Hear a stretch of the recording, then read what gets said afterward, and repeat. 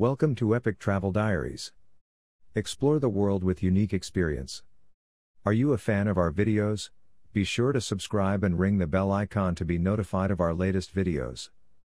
In today's video, we are taking a look at the world's largest tropical rainforest, Amazon rainforest.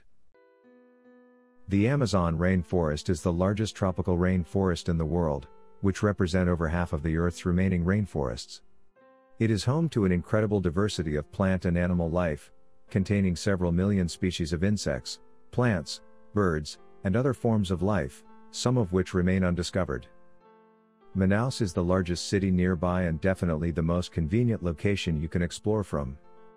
Cruising down the Amazon River taking in the quiet majesty of the area is one of the things to do in Brazil, that just can't be missed. Further you can go on organized hikes into the jungle, canoe trips or even go fishing. All of these are unforgettable experiences.